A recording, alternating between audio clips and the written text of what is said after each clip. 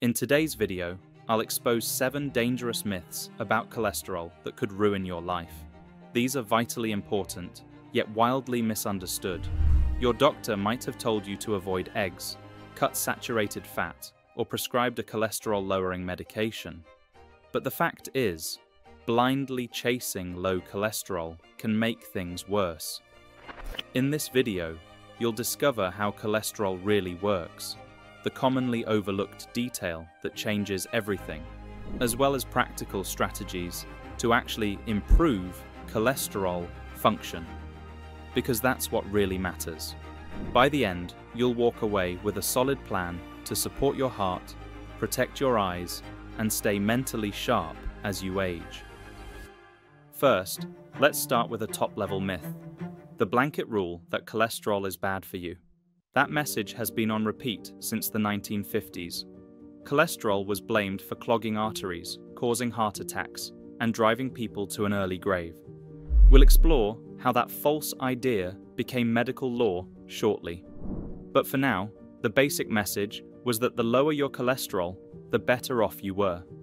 Supermarkets became flooded with low fat everything. People swapped butter for margarine, and cholesterol became the bogeyman. But here's the thing cholesterol is not some strange toxin floating around your bloodstream. Every single part of your body needs cholesterol. It literally holds your cells together. Furthermore, it's responsible for hormone balance. Plus, 75% of your brain is cholesterol. Without it, our bodies would shrivel up and collapse. So, if cholesterol is that essential, why did it get such a bad reputation? Because doctors started blaming it for the damage they were seeing inside arteries. But just because cholesterol shows up at the scene of the crime doesn't mean it's the one who pulled the trigger. Cholesterol appears when there's already damage, because it's part of the body's repair system.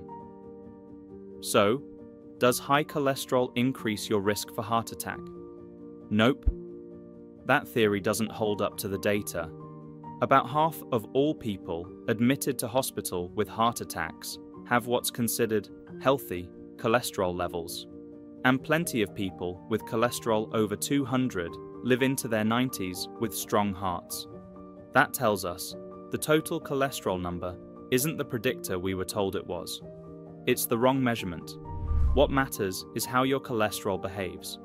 Not the quantity, but the quality. You've probably heard the terms LDL and HDL. LDL is often called bad cholesterol.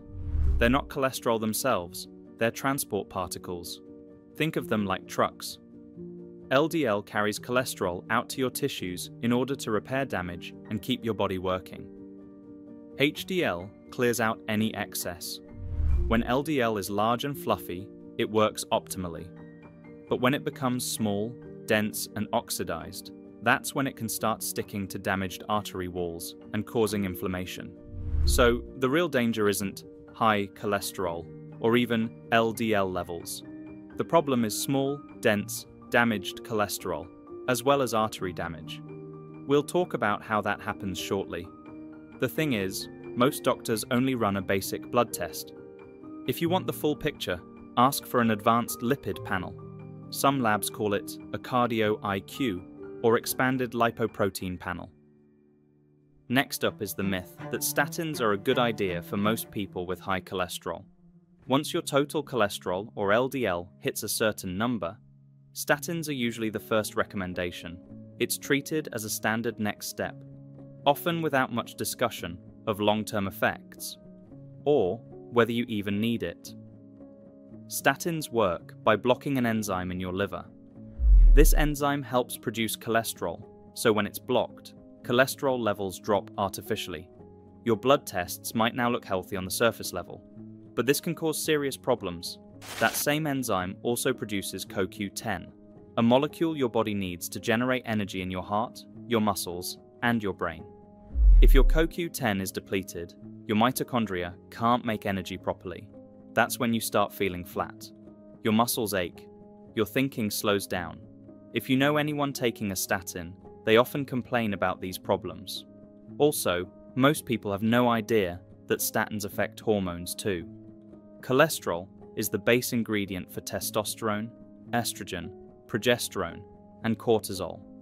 If your cholesterol drops artificially, hormone production slows down. That's when you get low libido, mood swings, stubborn belly fat that just won't go away, and all sorts of other problems. And that's only one type of medication. Others, like bile acid resins, reduce cholesterol by binding bile in your digestive tract, but they also bind fat soluble vitamins like A, D, E, and K, leaving you vulnerable to vitamin deficiencies. That means weaker immunity, inflammation, clotting problems, and increased risk of stroke. Now, before we continue, let's be clear that you should never stop taking any medication based on what you see in a YouTube video alone. But if you're currently on a statin or any other cholesterol drug, it might be worth having an honest conversation with your doctor about whether you really need it. And if you're not happy with the answers you receive, seek a second opinion. Because sometimes we really need to advocate for our own health. We've got a whole separate video on cholesterol medications that breaks down the benefits, risks, and nuances, so you can walk into your next appointment armed with the right questions. I'll leave a link to that in the description box. Okay, right about now, you might be asking, why are doctors so obsessed with cholesterol in the first place? It goes back to the 1950s, when a researcher named Ancel Keys pushed the idea that saturated fat and dietary cholesterol were the cause of heart disease. He created a graph linking fat intake to heart attacks across a handful of countries his seven countries study became the foundation for public health policy. But what most people don't know is that he actually studied over 20 countries. And he left out the ones that didn't fit his theory. The seven countries study was observational, not controlled, and filled with problems.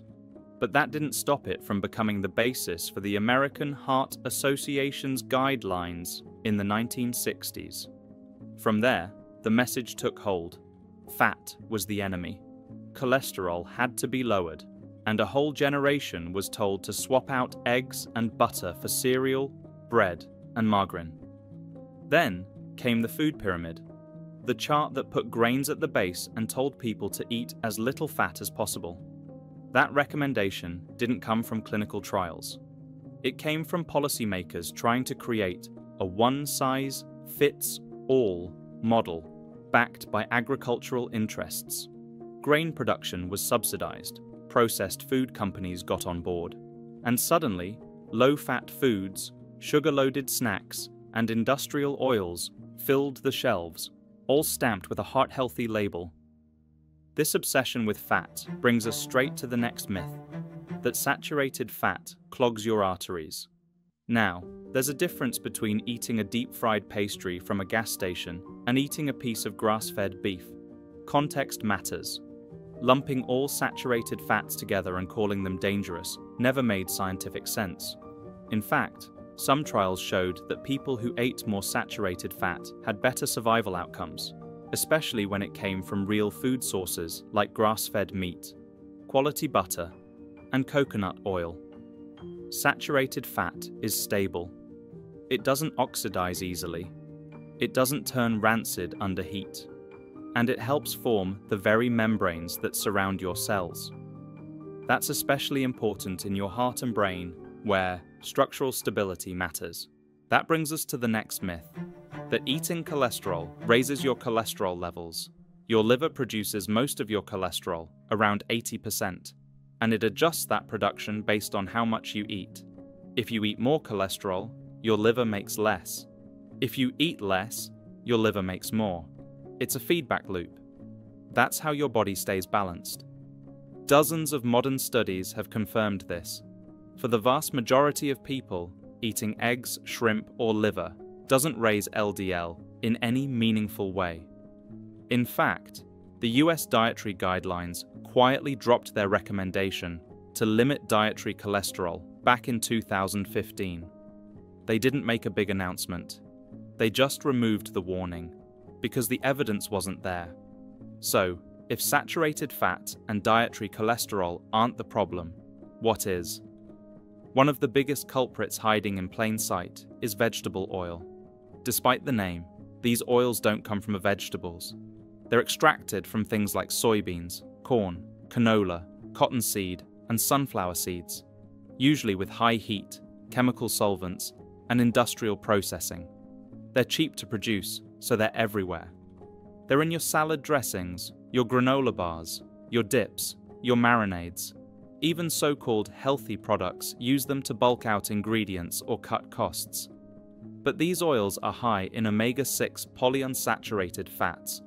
And while your body needs a small amount of omega 6, the amount people consume nowadays is completely out of balance. When omega 6s dominate, and especially when those oils are already oxidized or heated during cooking, they create oxidative stress, which directly damages LDL particles. That's what creates the small, dense, sticky LDL that sparks inflammation. Not the cholesterol itself, but what's been done to it. And the problem doesn't stop in your arteries.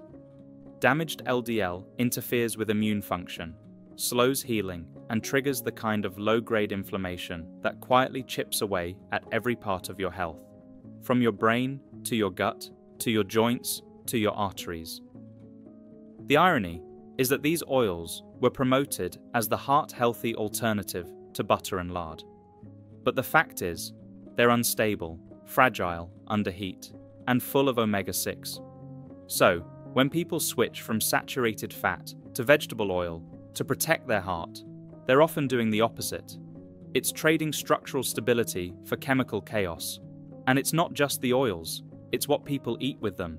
Refined carbs and added sugars fuel the same damage in a different way. Firstly, they spike blood sugar. And when your blood sugar stays high too long, it creates the perfect environment for small, dense LDL to form. This is why you'll see people with normal LDL still end up with heart disease. Because the real issue isn't how much cholesterol they had, but the state of their cholesterol.